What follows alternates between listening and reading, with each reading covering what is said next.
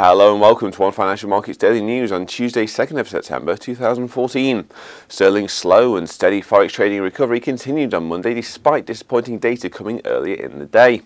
Decent economic numbers and a split in the Bank of England's Monetary Policy Committee had helped push the currency up from the middle of last week, and it wouldn't be derailed even by manufacturing stats coming in well short of expectations. Figures showed that the measure ticked down to 52.5 in August compared to a downly revised 54.8 in July. It had been anticipated that the PMI would reach 55 last month, but increasing geopolitical tensions took their toll on new orders. Sterling was able to keep moving up in forex trading with the help of increased mortgage lending figures, but expect greater moves as the week progresses as more PMI data comes in and the Bank of England's latest policy decision is announced.